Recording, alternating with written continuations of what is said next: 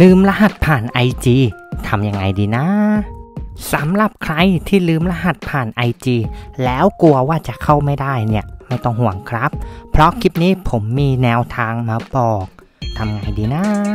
อย่างแรกถ้าคุณเชื่อมต่อกับ Facebook เนี่ย คุณสามารถล็อกอิน with Facebook ได้เลยนะครับ เข้าได้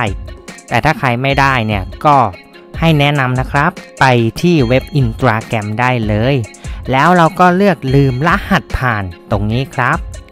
จากนั้นเราก็ใส่ username อีเมลเบอร์โทรศัพท์เข้าไป เขาก็จะมีข้อความแจ้งเตือนมายังอีเมลนะครับ ไม่ยากเลยนะ ก็ลองไปทำกันดู แค่คิดชีวิตก็เปลี่ยนแล้ว